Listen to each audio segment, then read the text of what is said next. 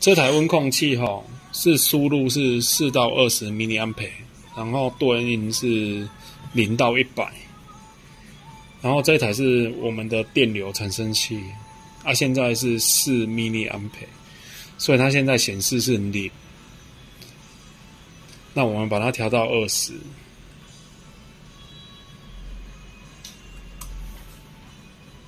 这样显示就是一百左右。那我会有一点点小误差，就是现在二十对就是到一百。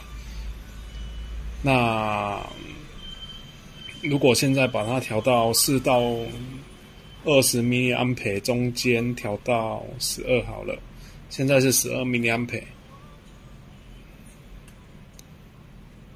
然后它显示大概就在五十左右。那这台是讯号产生器，这台是。那个温控器，然后目前测试完毕。